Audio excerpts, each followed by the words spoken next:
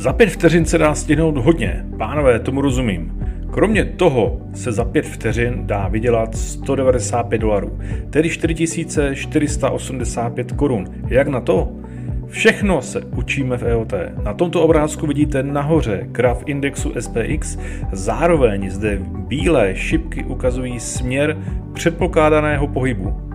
My jsme tento obchod zobchodovali přes takzvané call opce. Koupili jsme dvě březnové call opce za 330 dolarů a o pět vteřin později už udělal trh pohyb naším směrem. To je ta velká zelená svíčka nahoře v grafu vpravo, naznačená bílou šipkou.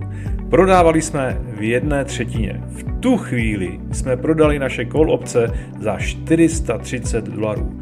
To znamená, že jsme vydělali 195 dolarů, což je zmíněných 4485 korun. Dá se za 5 vteřin vydělat i víc? No jistě, dá. My jsme vzali vlastně jenom zmiňovanou třetinu zisku, protože trh šel daleko výše a využili jsme vlastností obce, kdy zisk roste exponenciálně.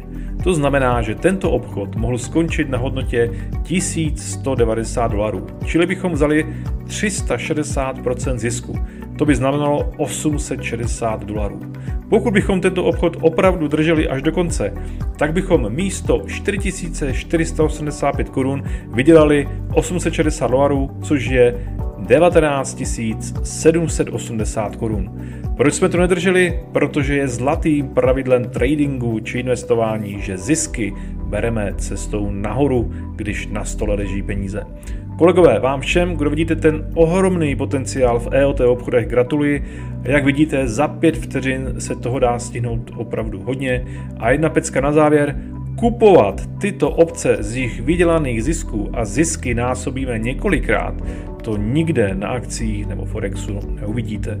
Všem držím palce a další obchody nás čekají příště. Díky všem za like, za komentář a dejte si odběr, aby vám žádný z obchodů neutekl.